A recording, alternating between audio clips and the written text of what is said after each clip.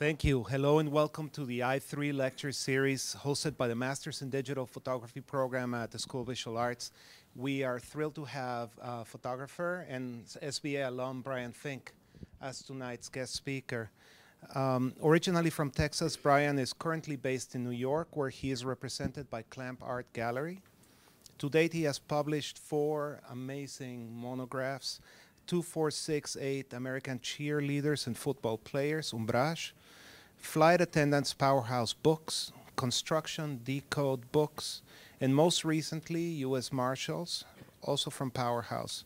Among others, his work is in the permanent collections of the Museum of Fine Arts Houston, Worcester Art Museum, St. Louis Art Museum, Akron Art Museum, Bibliothèque Nationale de France, Kiyosato Museum of Photographic Arts, and the Alexia Foundation for World Peace. Uh, so please help uh, help me give Brian a, a, warm welcome to our lecture series. Thanks, man. Welcome. Thanks. Hello, I'm Brian. I'm a photographer. Um, yeah, it's great coming back. I went to SVA and um, love the opportunity to come back and uh, share stories. Um, I shoot for magazines all the time. I've published books, um, do gallery exhibitions, and I brought pictures from a few different series uh, here along with some work stuff. And I'll just kind of like start showing this and ramble off and um, tell you guys a bunch of stories and kind of like what it's like working after art school and all that good stuff. So this was uh, the first project that I worked on that became my first book. Um, I started this after SVA. Um, I'm from Texas. I, my sisters were cheerleaders. I was like the newspaper yearbook photographer. Um, and it kind of felt like full circle coming back and like being on the football field again. Uh, how I originally started this project was I saw the movie Bring It On I know we've all seen it. Um, amazing film. Um, I saw it, and afterwards I was like, I need to go to these cheerleading competitions. Um, my sisters were cheerleaders in high school. They had been to these big competitions. I was like, I so want to go and photograph this and check it out. Uh, so I originally started going and would just um, get in the car and like drive down to Florida, Daytona, Orlando, and um, um, this is also the time where I started working for magazines. And I would like um, show, um, call photo editors or, well, email people and tell them what I was looking to do. And I would pitch stories to like the New York Times, different things. And I ran some of the pictures in the what they were thinking column. It was just a nice way to start getting work out there.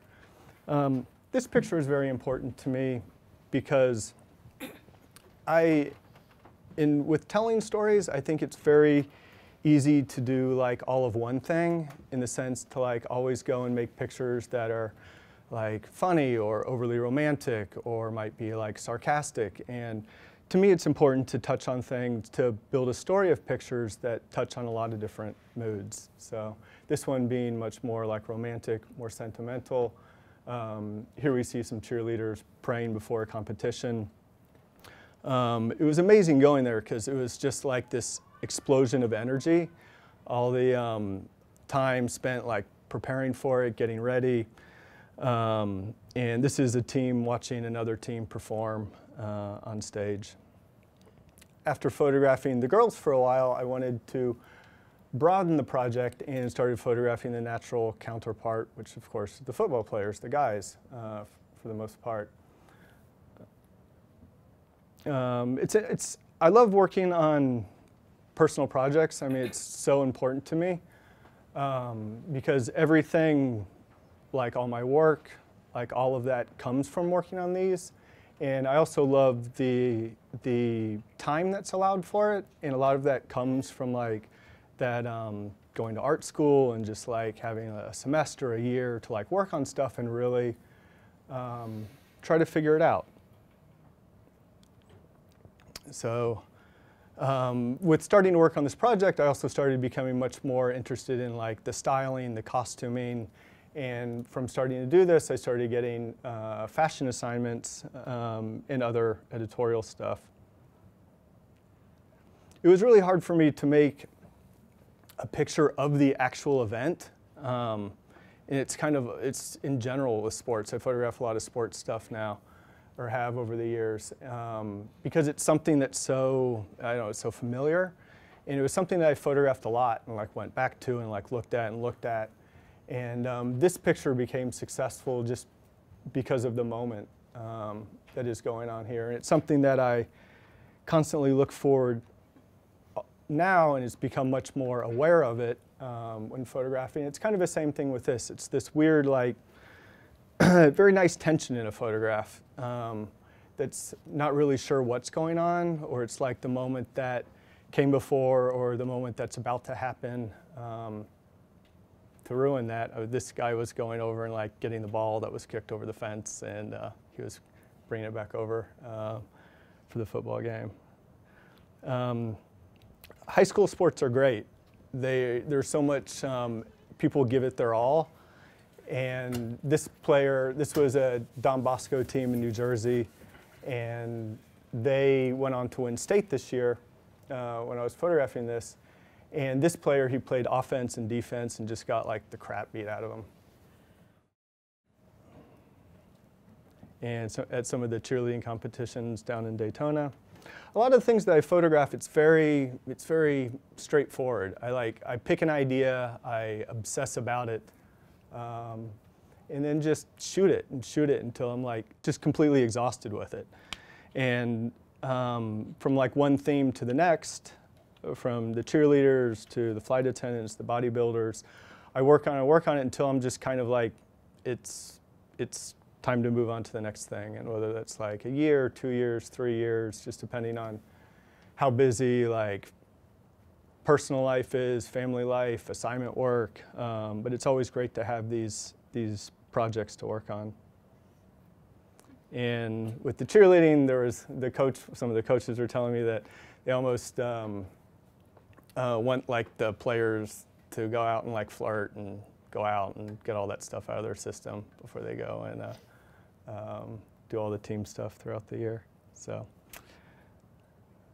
uh, at the beach in Daytona, I mean, it's such a beautiful setting, the light.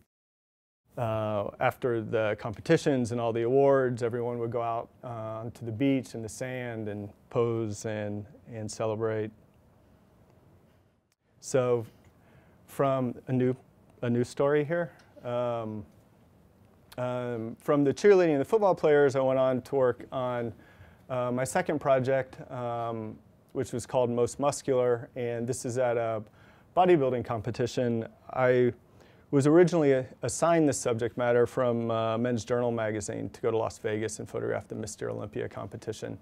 And from going to go and do that, I just was so drawn to how everything was so like over the top. Everything was like so extreme, taken to like such um, um, an exaggerated level.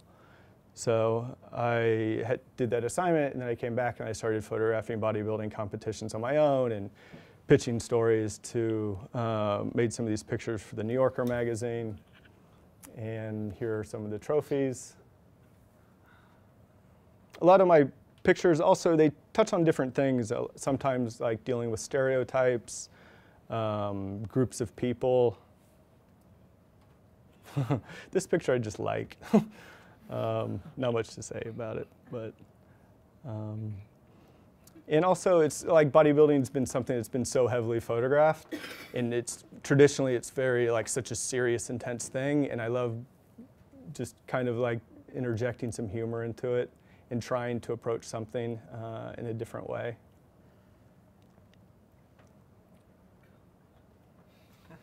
And even still, like earlier this month, um, did a shoot uh, down in Miami photographing a bodybuilder.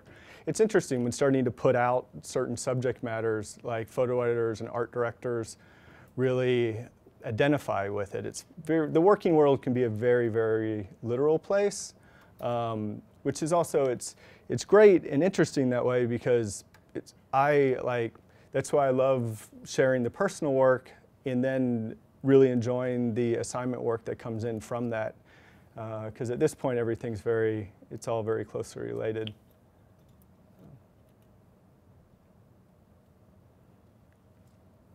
And after photographing something for a while, really wanting to try to look at it in a different way. Um, and after taking more of like the documentary style pictures, just wanted to really try to abstract things and make it much more about the expression.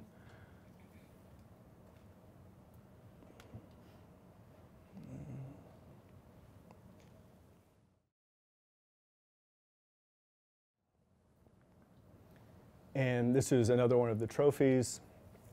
Um, yeah, the trophies were amazing. I feel like I could have like a whole collection of things from over the years of just going and like photographing. Um, yeah, all these different trophies from jobs. Um, this was at the original, the Mr. Olympia competition.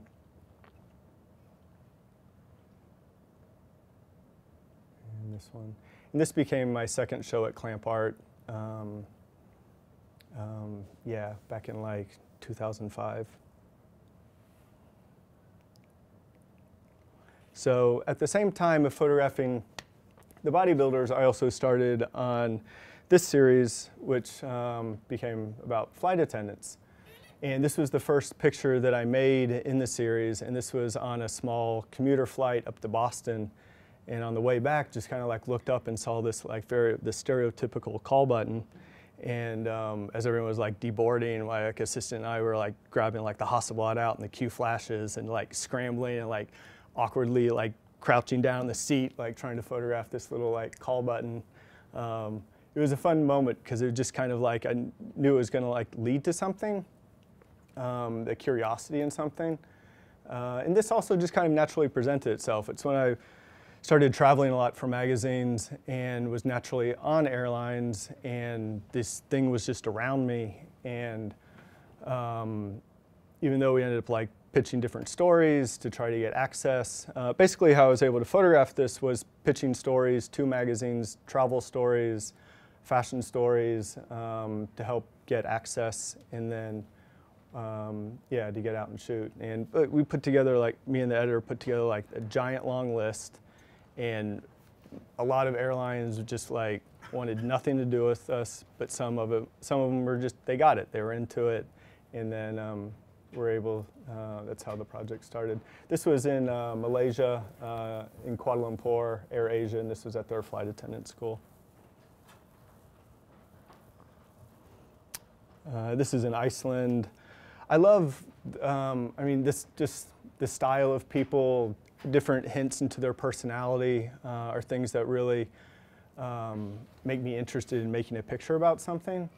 Uh, I started this project photographing domestic airlines like Southwest, and I don't know if it's in here, but there's a picture of Hooters airline. And then pretty quickly I wanted to go overseas where it's much more nostalgic and um, yeah, had a different mood to it.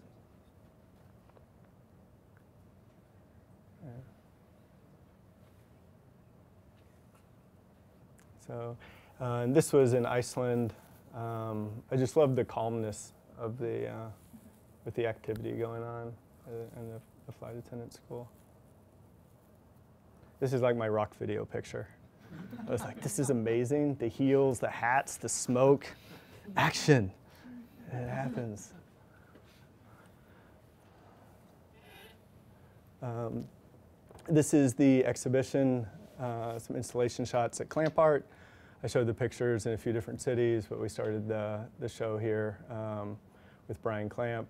And these were big, like 40 by 40 inch prints. Um, I've always worked between like a, like a 15 by 15, 20 by 20, and 40 by 40 size. And this was the next series I worked on. This was construction.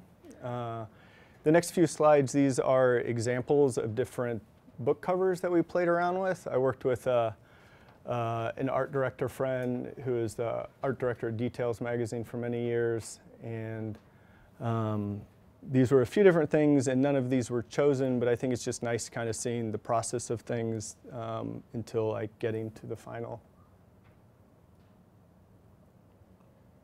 And this was, I worked on this book with Decode Books, which is a great small publisher out in Seattle. And it was a wonderful process because we just worked very closely directly with the publisher and worked on like the sequencing. And um, he would print out, we went through like two, I think, two small book dummies and then like a final like full size just to be able to like sit with it, live with it, flip through it um, before actually finally going on to press along with doing like all the rounds of like the color proofs and stuff. Uh, this was some of the layouts that we were playing around with. And I always go on press. Um, it's just such, it's a nice, it's like a great experience to do and final stage in the process. Um, I highly recommend it. Um, I mean, most of the color proofing is done kind of like leading up to it with uh, the color, um, with just the proofs, the back and forth, and making notes and stuff. Um, and probably about like 10% of colors finally like adjusted on press. But it's just, it's a nice kind of um, final thing. This was in, um, in China, in Shenzhen, just out of Hong Kong. And they, they got, these are the different plates. Um, the guys had an amazing eye. Um, and it's just kind of like a crazy experience of being on press for like 12, 14, 16 hours straight, taking a break, going back, and everything like building up, and then just um, seeing the final thing and seeing it come to life is pretty awesome. This is the viewing board. And everything's printed on like the giant sheets, then cut up, and this was the cover. And this was lunch at IKEA. There's a big IKEA right there. Uh, my publisher, he goes there every time he goes, and just love, yeah, yes. so this is all the sheets, how everything's like laid down to dry before it's cut and bound. And this is the beautiful printing plant. I always get sick when I go here. It's like all the ink in the air and just everything. It's, um, um, yeah, it's a crazy experience. And this was the final book and a few of the spreads.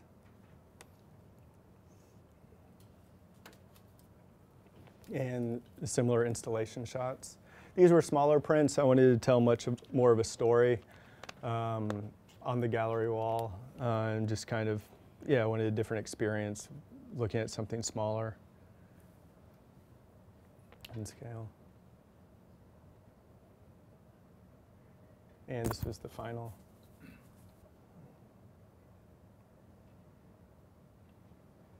and a few of the photos from it. This was actually kind of the hardest thing to go and photograph, um, just with all the um, liability involved. Um, I originally started approaching like the contracting companies, like on-job sites, but there's basically like three cooks in the kitchen. Um, the contractors, the architects, and then the money.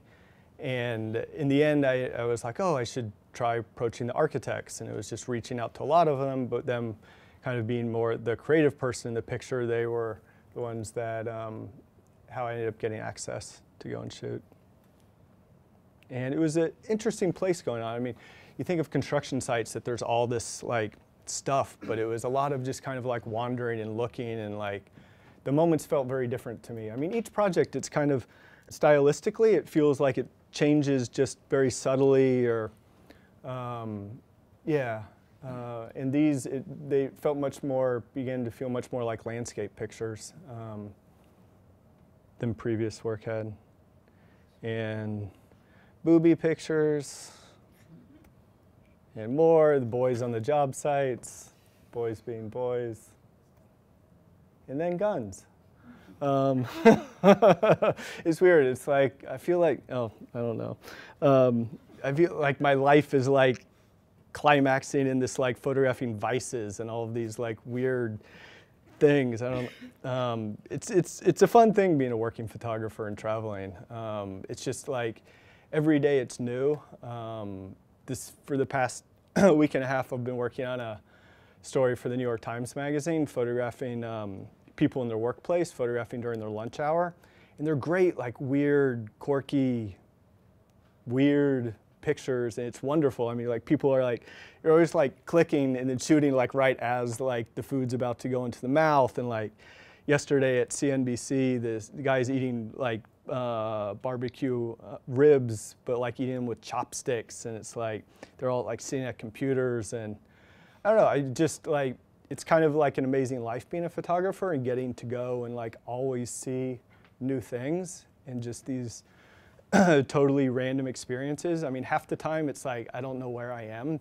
these days. It's like in the past month, I was like in Illinois, Miami, Oaxaca, like drinking mezcal, mezcal story for like a week. My uh, driver that I was working with, he was like drinking more than me and my assistant were. We were like, we lived through all of that. Um, and then like San Francisco, LA, um, it's fun. It's really fun, like addictive lifestyle and kind of really awesome to be able to go and see all these things.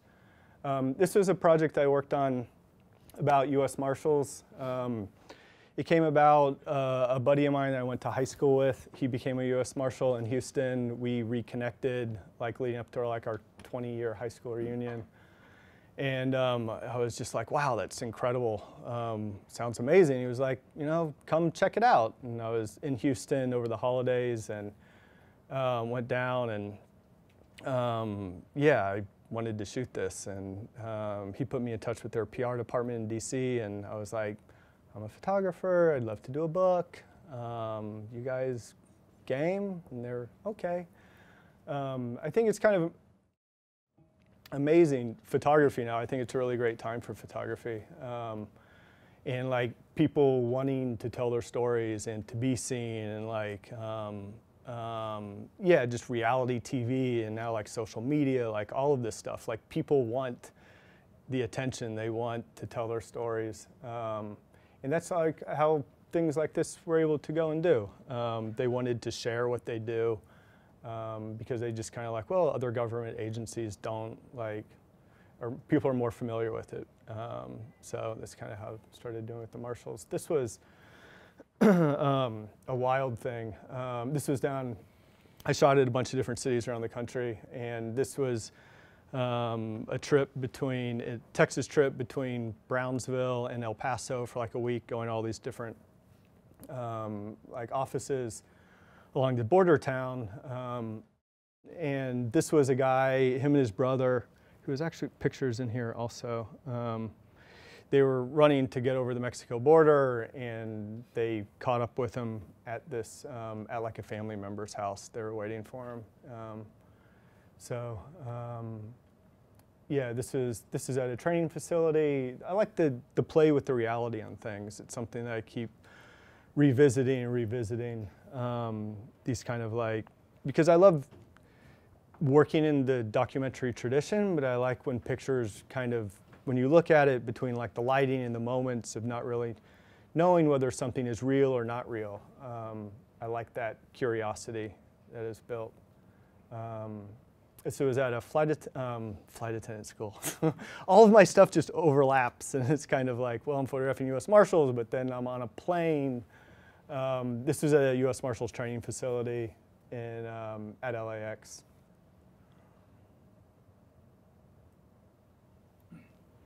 Um, this is one of the first pictures that I took of the series, and this is um, my buddy Cameron, um, yeah, who brought it all together.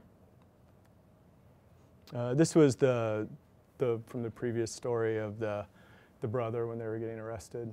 And it was a really, for me, it was a, um, I don't know, it was, it was a really strange picture to make. It was that personal space, this thing was happening, um, and it's the very subtle tear, like on his chest, um, um, that really became touching. Um, and I always use flash, and I like I went into the front seat and was like making this picture, and just knew that I couldn't be like popping stuff and um, just because this, this moment that was going on.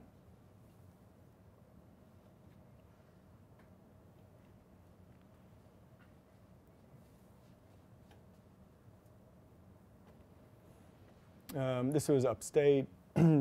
we did a lot of ride-alongs uh, with the U.S. Marshals, and like my assistant and I, we'd be like in the back seat of the SUV with the tinted windows and uh, with the binoculars ourselves. It's it was a very, a lot of the time just kind of get very wrapped up in the worlds uh, when taking pictures. Um, kind of very, because it's kind of like you share so many experiences together with the people that you're photographing.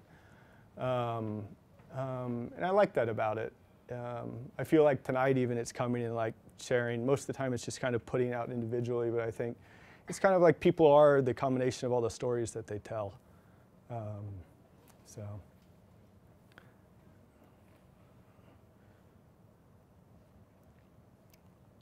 And the pink handcuffs. This was in Vegas. Um, and John McAfee.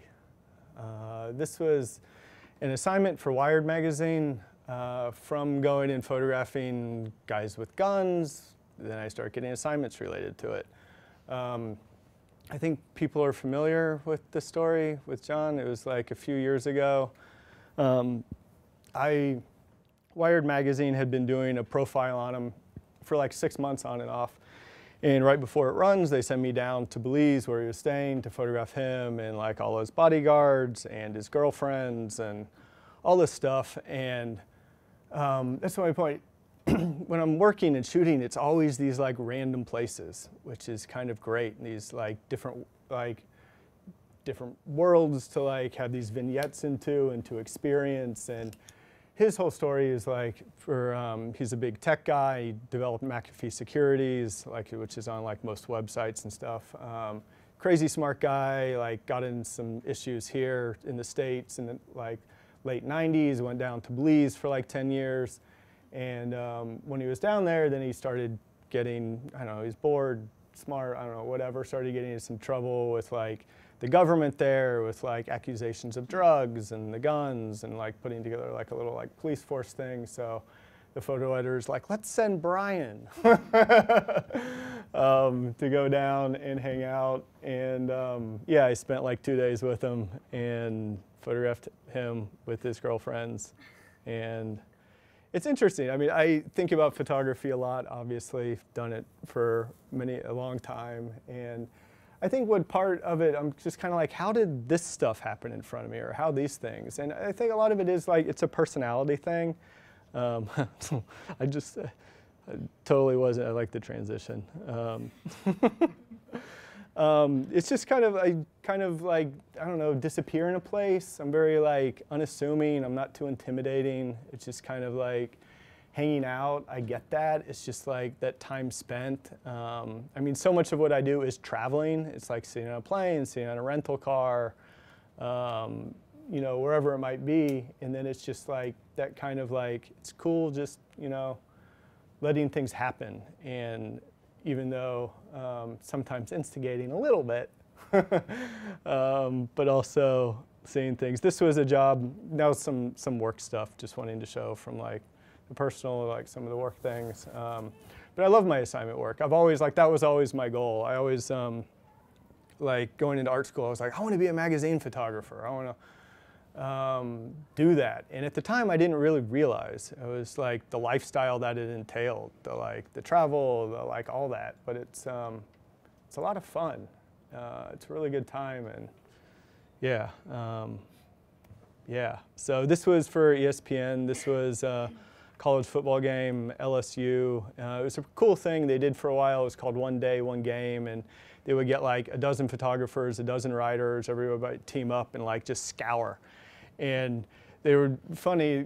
People would photo, you shoot whatever you want, basically. And some people would go and whatever, I don't know, do locker room things, do crowd things. They would kind of make fun of me afterwards uh, because they would always be like, Brian would go to the cheerleaders and to like the crazy tailgating. It's like I would shoot nothing else but like lots of that. Um, so, yeah.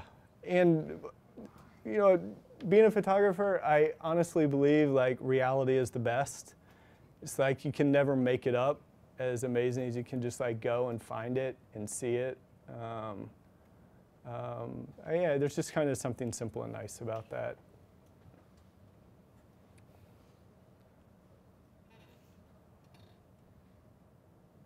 Um, yeah, and this, I mean, I, I love the assignments that I get. It's kind of like stuff that I would just love to go and shoot anyhow. Um, and um,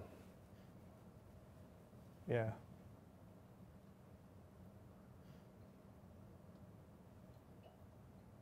And some more, this was a different assignment, but some more football.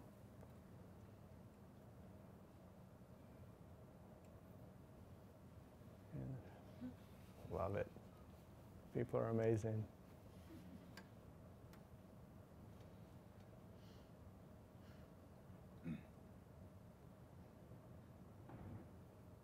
I also love like one thing with like thinking about photography.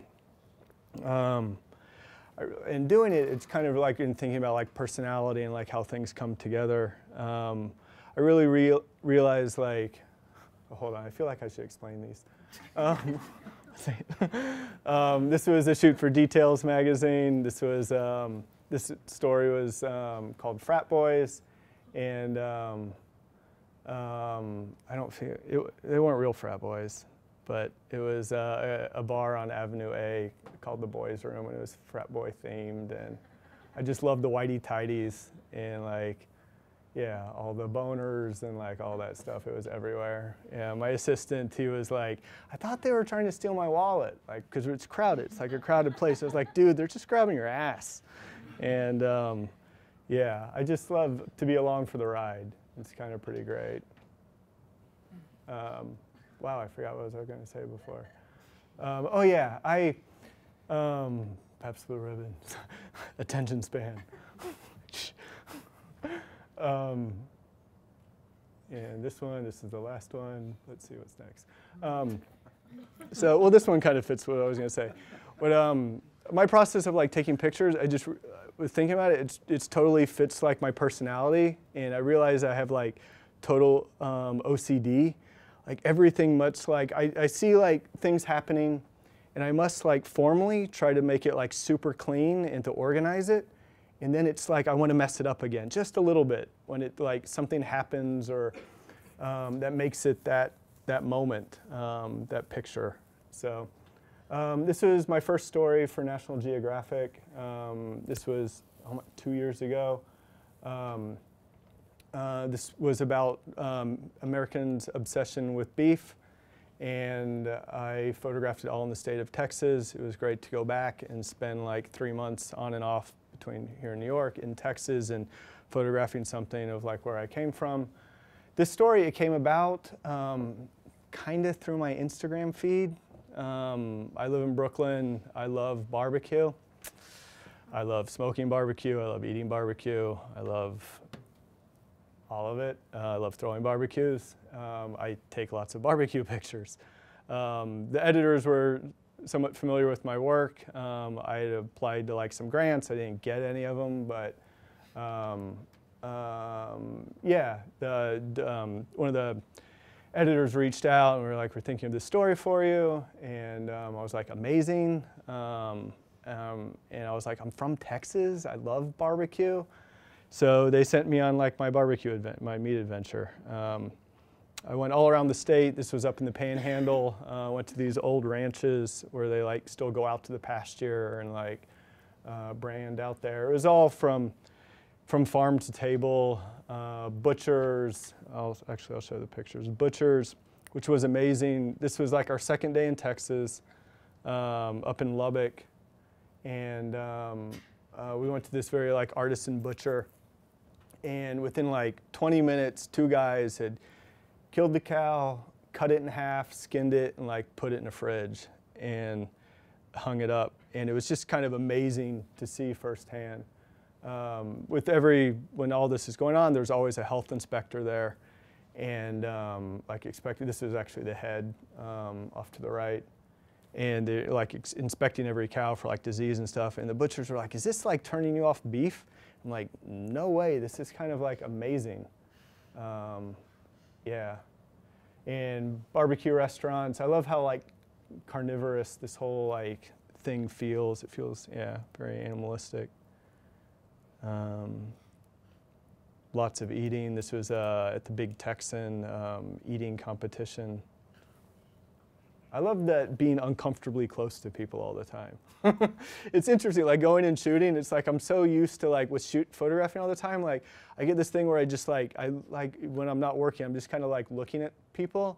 And if they like catch me like looking at just, it feels like it should be natural, but there's no like camera or um, then it just feels creepy. um,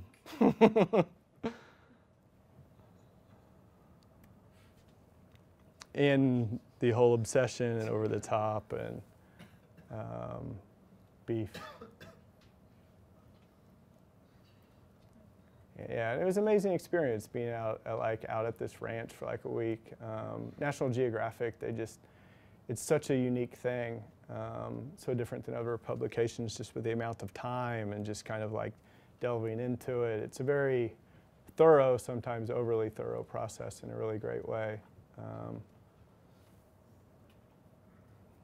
yeah, this was another story I did for, for National Geographic. This was earlier this year about the science of taste. Um, and uh, yeah, I do a lot of food related things also. Um, this was at a taste lab in Philadelphia uh, where they stain the tongue blue and count the taste buds um, to determine whether someone's a super taster. Apparently, I'm a non taster. Most of us are non tasters. Sorry. Um, um, but yeah, it's based on uh, like three fourths of the po population are non tasters. Um, but it's more like I love eating hot sauces and I don't know, all these random things um, that come from it. This was at uh, in Copenhagen. Um, um, and something different. Um, this is a current series that I'm working on called Hip Hop Honeys, Video Vixens. Um, I'm kind of, it's very, the stuff that I photograph, it's kind of self-explanatory. Um, um, this came about a photo editor uh, that I work with in Italy. We were at this photo festival and she had seen this BBC documentary about video vixens and she was like, Brian, the subject's amazing. You would love this, just the people, the styling and all that stuff. And um, yeah, um, yeah, I would normally like, I have no deep reason why like I go and shoot things sometimes. I mean, during this time I was getting a divorce life was crazy. I'm like, this sounds amazing to hang out on the set of like a hip hop videos and like be around all of this and be like, wow, I'm here like shooting this. Um, so that's how this started. Um, but I love it. I, I think like it's, um, I don't know. I was gonna tell, um, um I was trying, I'm trying to like, I didn't want to, it's like self-censor. Um, anyhow, um, yeah, it's been a fun thing to shoot. I'm starting to work with uh, New York Magazine published a small piece. I'm starting to work with a writer there and also possibly like an illustrator to do something that's um, um, maybe not totally about photos, but something outside of just maybe a straightforward photo book. I'm trying to figure that out now. Um,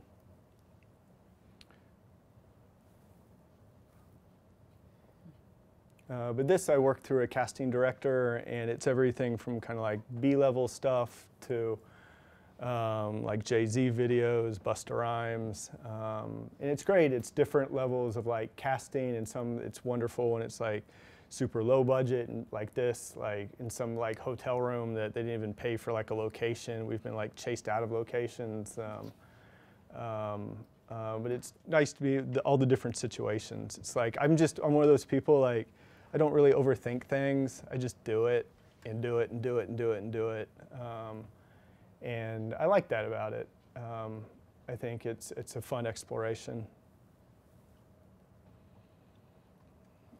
Hmm. The world of selfies. She does it so well. Uh, and I also like these, making these kind of like, this felt like a new picture to me like just very ambiguous moments that didn't really talk about anything, but just kind of like created a curiosity. I love all the attitude. I mean, these the models they're just like owning it. I think it's pretty awesome.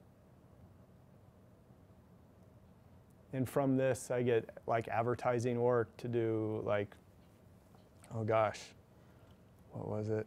Um, SoCo, Southern Comfort, thanks. This is Adrian, everyone. We've worked together forever. we were working today, I dragged her along, so here we are. Um, booty. Smoking. I my vices everywhere. Um, the guns isn't a vice. money. I love it. Everything's fake. It's this like interesting thing of like fake guns, fake money, fake booty, even though no one would admit it.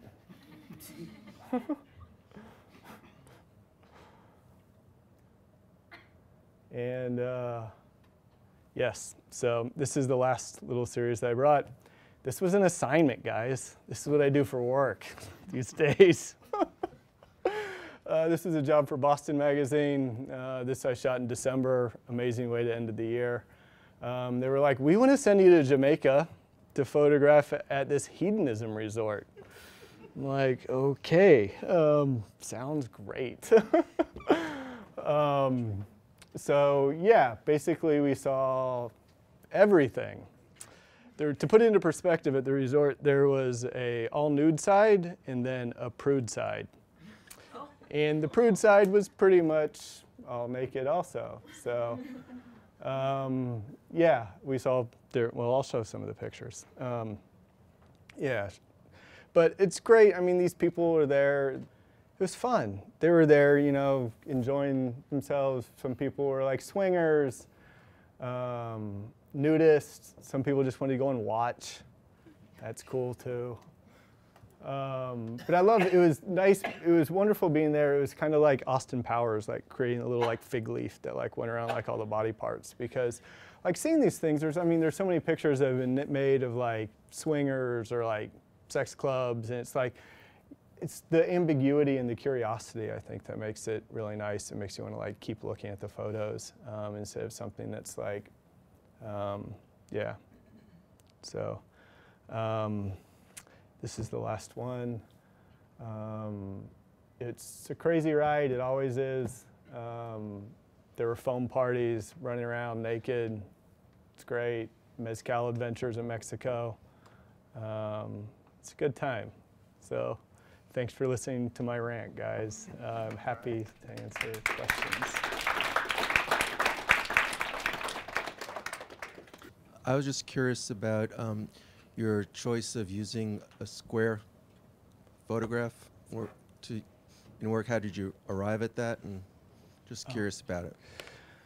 Um, right. Um, I love the formality of the square. I, I started shooting Hasselblad um, back in like late 90s. And it just, um, it's also going like, I mean, my, like I grew up like loving the photographs of like traditional documentary photographers like Eugene Smith, Jill, um, Eugene Smith, Gilles Peress, uh, Robert Frank, like that whole like black and white storytelling thing. Um, and it came to a point like, I mean, that's even, actually it's a good point to make. That's even like what I was doing when I was in school. It's like I went and photographed like um, heroin use in the South Bronx and like a friend that was a drag queen and all this. And it was all like 35 millimeter black and white, like very reportage. Um, and then I got this grant to go to India and work on this story about child labor. Um, and then just after doing it, I went through like some personal stuff. I was like, I want to find something that feels more like my own. Um, and I started shooting with the Hasselblad and introducing the Q flashes, um, and just to kind of like really heighten the moment um, between like the use of color, the flash, the moments, and the square. It just felt right. Um, um, it's just like the formality of it and stuff. Um, it was different than I had been seeing, and just a combination of the different elements. Um, uh, it just felt more like my own. And physically, I loved the physicality of like holding a Hasselblad. I would mount like a 90 degree prism and cut off like this flash bracket and just be able to like shoot in just the way that the square felt. Um, and then came Instagram. um, um, yeah, that's kind of the process. Also, I mean, with starting to shoot color, I like this the just the detail in the medium format. Just kind of dealing with that. Now I shoot um, Nikon, like D3X, D800, D810, uh, still with Q flashes and stuff, and sometimes um, mixed with other like speed lights or Profotos, different things. Um, uh, but I shoot. I, why I started shooting that was just the uh, that it does like the 4.5 sensor crop and the viewfinder crop.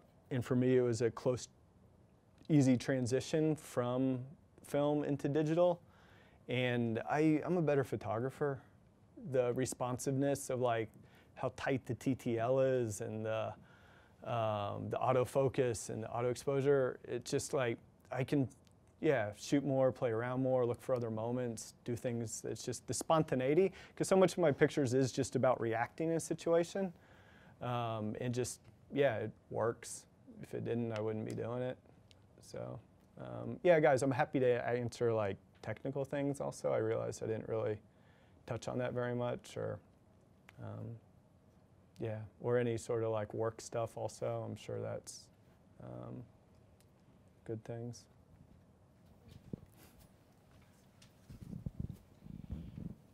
So you've done both advertising and editorial work. What are some of the major differences for you personally um, and professionally? Okay, everybody, this is my girlfriend Diane. She came in late.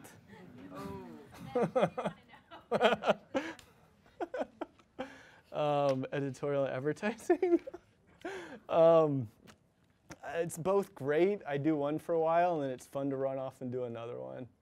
Uh, they're different experiences. Editorial, it's great, just running around with like my assistant and uh, like that relationship, and just kind of like going and exploring. And then it's fun when there's like budgets and um, um, the producers just like making everything happening. And um, yeah, they're different experiences, and it's fun doing both. I couldn't, um, I mean, yeah, I couldn't always do advertising. I go a little crazy. Um, and editorial, it's like it's the go, go, go, go, go. Um, you kind of like, yeah, run out of steam at some point also. So it's a nice combo. Uh, to build on that question, actually, um, do you have a situation where, let's say, with the flight attendants, um, it comes back as an advertising job? Do they, does somebody say, "Hey, you did a great job with your book. Can you Mhm. shoot our next advertising yeah. campaign?" Yeah, it's happened twice, which is great. Um, I did some stuff for Air New Zealand a few years ago, and especially with um, the flight attendants, uh, with something being such a unique um, um, subject matter.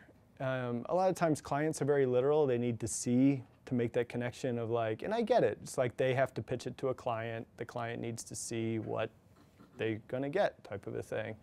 Um, so uh, yeah, I've also I did a bunch of Delta stuff last year um, for a while, and it was great. It's um, it, a lot of it comes very directly related, like some of the to get back to the hedonism thing. um, I did a story for Men's Men's Journal like last spring, and it was photographing this big cruise ship, and then um, um, yeah, it was all these like hot tub parties and stuff and then I, yeah, then the editor like that stuff comes out, and I get a call like right away to do that. I mean, it's a, it's a good thing. It's kind of it's a very simple thing to say, but it's very much like what you put out is what you'll get called to do. Because sometimes I know like coming from being like to make that transition to to working, and if it's you make the decision to work like commercially. It's kind of like, oh, well, I want to work and I want to get work, or I just want to be busy working. But it's like, that's why it's I've always loved doing like the shows and that balance, that work personal balance, um, because that's kind of where it all comes from, and put out what you want, what you want in return. So, yeah.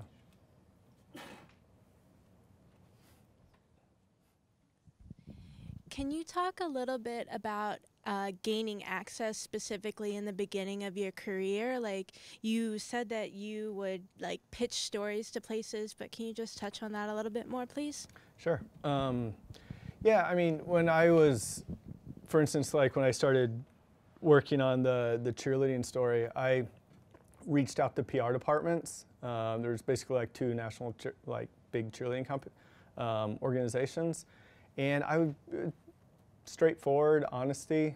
Um, like, hey, I'm a student. I've been taking some pictures for the Village Voice. Um, sent them like copies of a few tear sheets, and then they just gave me a press pass. Um, I think it's just kind of like it's it's the same thing when I like reaching out to like the marshal's office. It's kind of like just being honest and straightforward and direct. It's like I want to do a book. Um, I work on this and it's great, then that's what it you know will become. Um, so I think it's just kind of real. Yeah, I guess that simple. Yeah, simply that. It's an it's an interesting thing though being on assignment, um, especially editorially, because a lot of the times like access somewhat has to be figured out, and it's kind of like being a photographer. It's like part psychologist and just like meeting like totally different people, um, and then trying to figure out how to like. Um, um, yeah, how to produce stuff. And that's why something like I realized, like, I mean, you guys, I'm sure you, guys are great photographers. Um, why I get a call is that I've been doing it for a while. It's pretty, it's pretty simple that way. Um, like editors call because they know I can go somewhere and um, yeah, like recently did a job in Japan, uh, in oh, Nagasaki, and it was to photograph this hotel that's run entirely by robots and but it's like yeah it costs money to get there. It's kind of like it can be expensive. They're flying myself and an assistant going through airports and like the local airport wasn't going to let the batteries go on the plane. This has been like an issue like forever. Um, or it pops up every so often. Um, but you know getting to a place you know crazy jet lag like feeling weird like then like how do you interact with people and re relate and be able to like produce? Um, it's fun. It's great. Um, and it's just nice i mean all of these like i know like wow when i'm in this thing i'm like how do i prepare myself um, you know just get my head right type of a thing and like be on and um, yeah and then produce pictures. So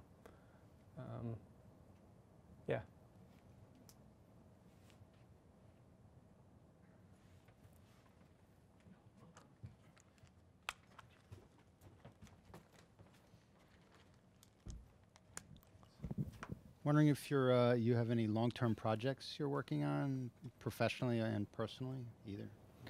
Um, currently working on the hip hop series. Uh, it's been in the works for uh, three years now. It's a little longer than I normally work on stuff. I'm trying to complete that this year.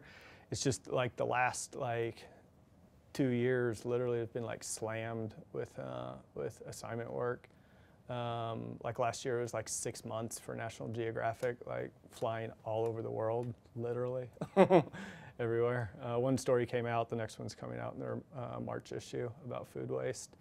Um, so I always, it's, yeah, it's, um, it's time to complete that soon, um, is my goal, and then kind of see what's next. A lot of times things, I believe they kind of present themselves um, just interests and transition from one thing to the next. So, um, yeah, we'll see. I'm in, that's why I took the mic.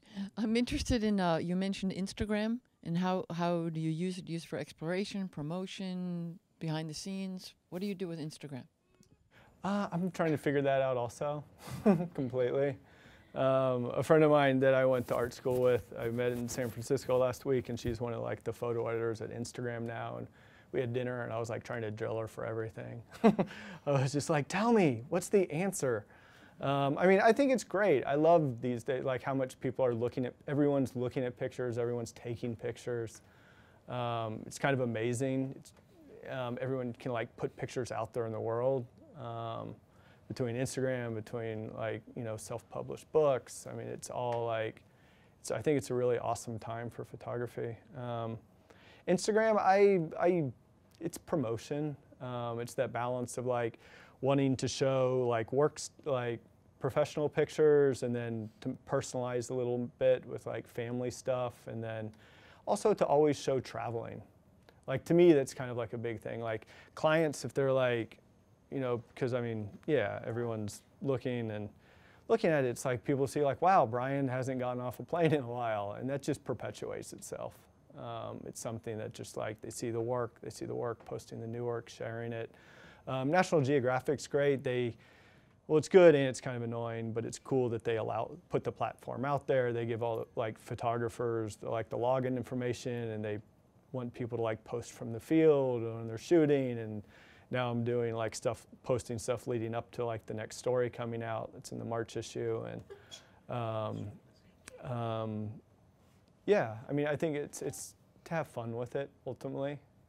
So, but I think it's also become kind of um, a platform within its own, in the sense that like I come from a generation of like loving photo books and like like seeing pictures on a gallery wall, but it's kind of like it's its own like thing unto itself, which I think is, yeah, another outlet. Hi, could you share your thinking about lighting and just your approach when Mhm. you're setting up a shot? Sure. To. Um, I use quantum Q flashes. Um, I love them. They're so small and portable. Run around everywhere with them. Um, and I originally started using them because they were strong enough to overpower daylight at like a very like a closer distance, at like a five to eight foot type of a thing. Um, in more recent years, I've switched to their just their newer models. That's all like TTL and I have a, I like have one on camera. My assistant has one off camera, um, and I'm always like I don't know like playing I don't know trying to figure out like lighting that makes sense with a current subject matter or where I want to change it um, for myself. Like more like some of the more recently some of the pictures were like I would be like shooting a, a subject and then my assistant would be holding a a second Q flash at like a 90 degree angle to subject to create more of like a hair light and these kind of like cross lights type of a thing. And now I'm kind of bringing everything kind of like closer to camera below to kind of like blow things out. And, um, I love how portable they are. And it's, I also like to be able to create different lighting moods very quickly because sometimes like, especially like we were talking before about starting about like, oh, scouting office locations before like going and working on this Times job and um, I, I, show up and shoot. it's like what I do all the time. So it's kind of like having these like things depending on the location and the mood that I want to create and all that type of stuff. I also work with like Profoto, like 6Bs, like off camera, um, and like speed light sometime, um, like close to camera on telephoto, different stuff like that. But I think also when building like a story of pictures, it's nice to be able to to mix it up so everything doesn't have the same tone, and it's just with the with moving the lighting around, um, yeah, enables that. So, yeah.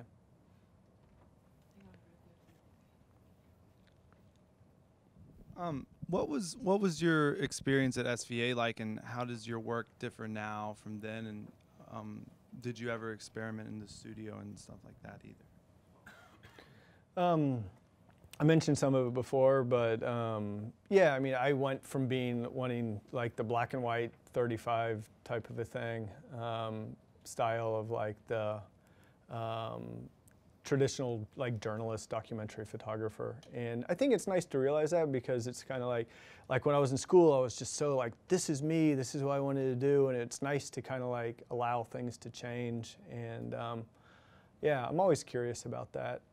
Um, even though i think i change things very subtly to me um, that feels nice um, with trying different stuff. I mean i shoot in studios i do different things um, yeah, I deal with like productions, like big productions. What I love doing is running around with like one assistant. Like that always just feels good. It feels good when you're like snapping on the battery pack and like running around and jet lagged and just kind of uh, having fun with it. So, yeah. Uh, shooting other people, did you ever get a response from people that saw their image, if it was negative or positive? Mm-hmm. Oh, can you repeat it, please? Oh, can I repeat it? Um, why do you put me on the spot like that? um, do I get negative or positive responses from people when I photograph them? That's your question, right? Um, sure, both. Yeah. I mean, negative, I don't know how much, but I mean, people like being photographed. I ask people. I never shoot somebody that doesn't like want their, like say yes to having their picture taken. Um, it doesn't feel right. Um, I wouldn't appreciate that of someone else, but it's um, plus I just I like being cl- close to what I'm shooting, close to people, up in people's business, like people eating lunches above keyboards and like, like right there, like, um, um, yeah, that feels good. I mean, I'm trying to think of other, um, yeah. I want to add something to that. Uh, just to continue with that question, as, as long as you're here with us, um, Mhm. with the marshals, I mean, you're talking about a government agency, you're talking about law enforcement. Um, were there a lot of lawyers involved, or were there different restrictions put on you as to uh, what the images should look like, or what kind of images you could actually use for the book? Um, no, not in um, deciding like any sort of aesthetic or editing choice like that. There were legal things that were that they set forth in the beginning that I was very aware of. Uh, I wasn't able to use some of the pictures because of that, but it's like a privacy thing of being in people's homes. I mean, they're like, you're not allowed to enter like premises when I'm there. The reality of it is all this like stuff is going on and the guys, the marshals on the ground there just like, come shoot all this. So um, then we go in and yeah, I mean, there's uh some nice photos that we're able to use, but I get it. I mean, it's fair. I didn't have consent. So um. Yeah.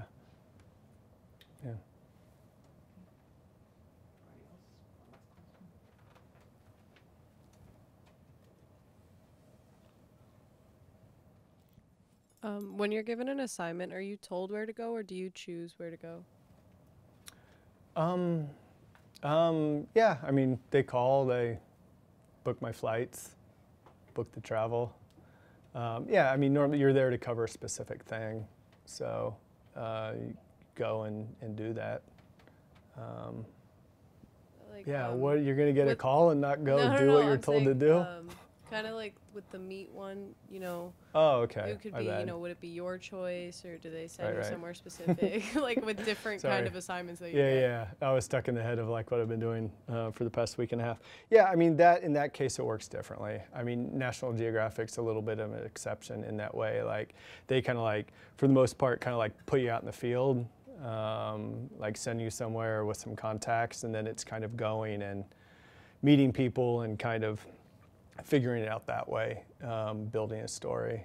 So, but I mean, there's there then there's like with that magazine, then there's meetings in D.C. and there's discussions. It's kind of um, yeah, um, talk about you know the whole editing process, why one picture is chosen from another is a conversation. It's a, a big thing. Um, yeah, I mean it's working within the confines of the subject matter of this of the of the assignment, whether how broad or specific that might be. Yeah.